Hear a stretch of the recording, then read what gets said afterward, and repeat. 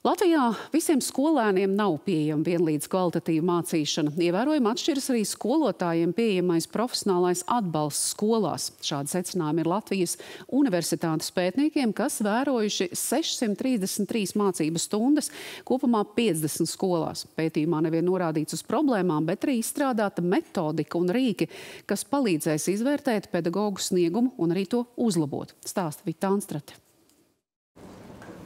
Vērojot un analizējot kopumā vairāk nekā 600 mācību stundas dažādos mācību priekšmetos, Latvijas universitātes pētnieki un eksperti secinājuši, ka ir milzu atšķirības starp to, kā skolotāji savas zināšanas nodod skolēniem.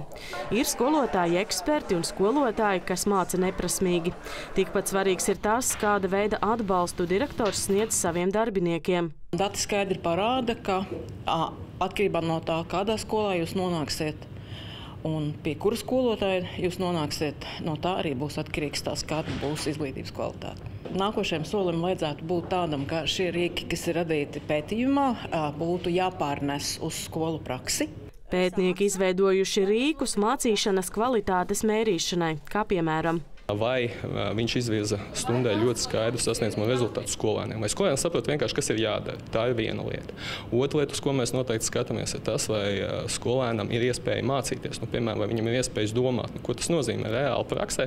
Tas nozīmē, vai skolotājs veido sarunu ar skolēniem, vai tas ir tikai frontāli las, nu, mācīšana, stāstīšana pie tāfeles, vai vienkārši arī patiesībā skolēnam ir iespēja iesaistīties, izteikt savas domas, domāt, spriest par konkrētām lietām, konkrētiem procesiem. Mērķis izmērot kvalitāti prioritāte ir saprast, kas jāuzlabo, ar kādu atbalstu to var panākt, lai visi bērni saņemtu kvalitatīvu izglītību un būtu augstāki rezultāti. Tā doma nav kādu sodīt vai tagad pateikt, ka tu neko nevari vai nespēji vai neproti, bet patiesībā parādīt to, ka hei, šeit ir ceļš, kādā veidā tu vari tikt uz nākamo līmeni. Pētījuma rezultāti un praktiskie ieteikumi adresēti izglītības politikas veidotājiem un ar tiem iepazīstinātas arī Izglītības un zinātnes ministrijas amatpersonas.